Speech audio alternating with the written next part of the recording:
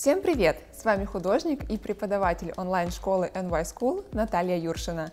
И сегодня я вам расскажу о пяти самых больших арт-галереях мира. А вы можете себе представить 20 тысяч квадратных метров, отведенных под выставку произведений искусства? Может показаться чем-то нереальным, но такие арт-галереи действительно существуют, и о пяти из них вы сейчас узнаете. Смотри это видео до конца, чтобы узнать, какая из арт-галерей носит титул «Самый большой в мире». И чтобы не пропустить следующее видео, обязательно подпишитесь на канал и нажмите на колокольчик. А перед тем, как мы начнем, напишите в комментариях, насколько внимательно вы смотрите на картины в галереях и видели ли вы что-то необычное. А теперь давайте начинать.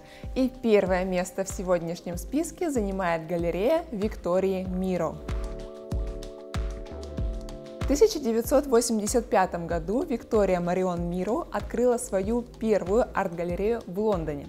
В 2000 году она в этом же городе переехала в помещение чуть-чуть попросторней. И по сей день эта галерея является ее главным офисом. В 2013 году в Лондоне также была открыта вторая арт-галерея, за которой последовало открытие третьей в Италии в Венеции. Как и сама Виктория Миро, ее галереи пользуются большим уважением в Лондоне и в Италии. На данный момент площадь всех галерей составляет более 600 квадратных метров и насчитывает более 50 сотрудников. На протяжении многих лет в галереях Виктории Миро выставляются современные звезды искусства. И мы говорим не только о таких известных художниках, как Шанталь Джоффе или Крис О'Фил, но и о художниках из разных стран мира, таких как Джидека Кросби, Тал Ар, Элис Нил или Идрис Хан. Этот впечатляющий список художников занимает пятое место в нашем сегодняшнем списке. Ну а четвертое место достается галерее с именем Перотен.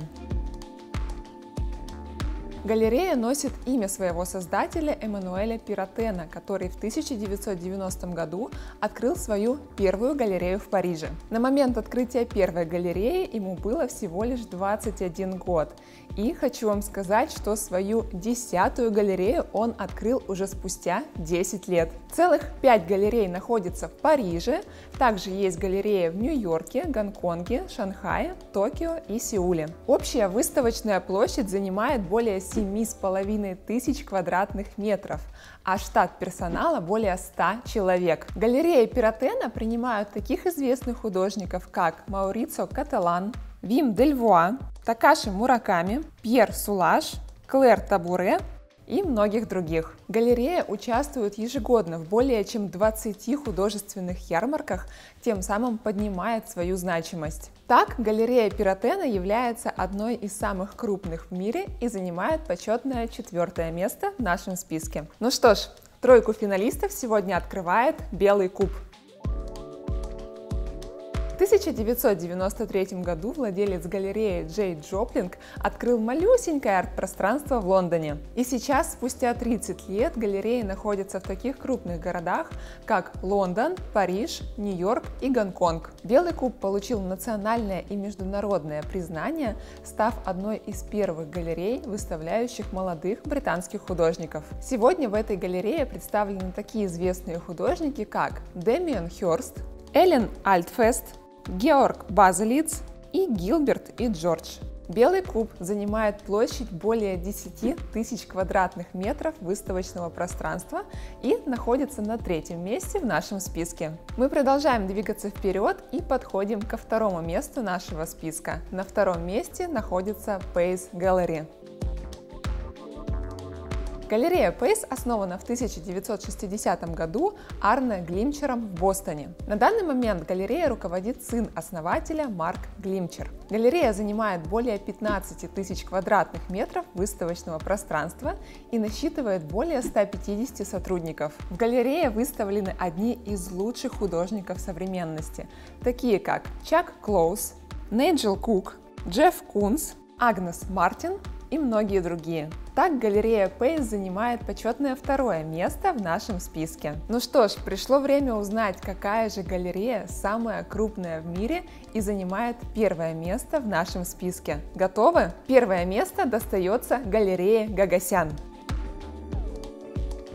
1980 году Ларри Гагасян основал свою галерею в Лос-Анджелесе. Сегодня галерея насчитывает 17 филиалов, занимает более 20 тысяч квадратных метров выставочной площади и насчитывает более 300 сотрудников. Она, несомненно, является ведущей галереей и она же была первой галереей с собственным издательством. У них есть ежеквартальный журнал Гагасяна, онлайн-статьи и многие другие интересные программы. А еще более впечатляющим является список художников, с которыми галерея сотрудничает. Тут вам и Георг Базелиц, и Герхард Рихтер, и Джон Каррин, и Ричард Принц.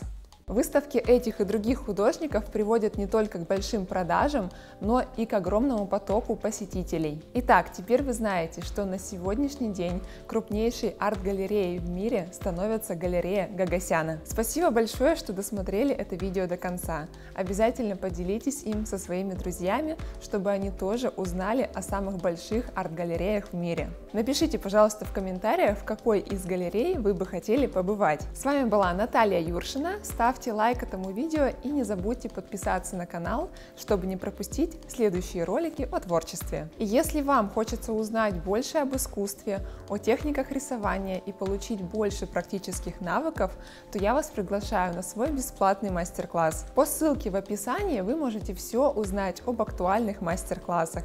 Обязательно записывайтесь, я буду вас ждать. До встречи в следующих видео и пока! Thank you